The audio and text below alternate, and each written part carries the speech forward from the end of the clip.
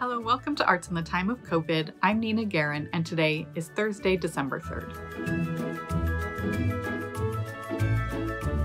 This was supposed to be December Nights weekend, but because of coronavirus, San Diego's most popular holiday event has been canceled. What will continue, though, is the food.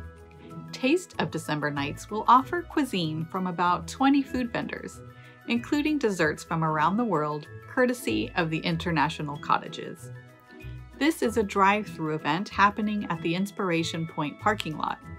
You order your food from the car, then either take your food home or enjoy from a socially distanced picnic area in Balboa Park.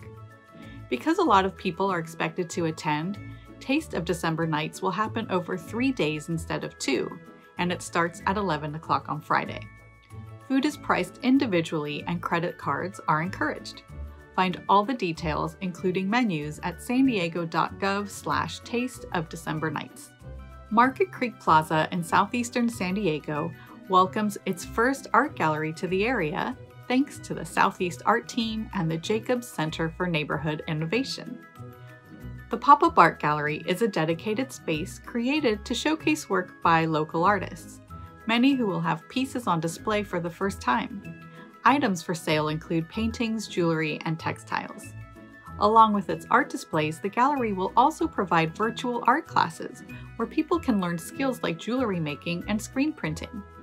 The pop up art gallery is open now through the end of February and features a new themed exhibition each month because of coronavirus, visits to the gallery are appointment only, which you can make at calendly.com slash pop-up art gallery.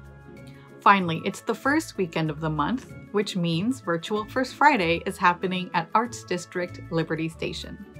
For December, the mood for this free arts event is all about festive art installations and creative holiday gifts. Activities scheduled for this Friday include an Italian cooking lesson from Solare, a holiday bows tutorial with Karen Jones Fine Art, a magic show by San Diego Magic Show, sustainable gift wrapping ideas from Visions Art Museum, a talk with artist Josemar Gonzalez about his Liberty Station installation, and new works by Malashock Dance. Virtual First Friday begins at 4, and a schedule plus details are available at libertystation.org. Find these stories and more at san diego union tribune.com.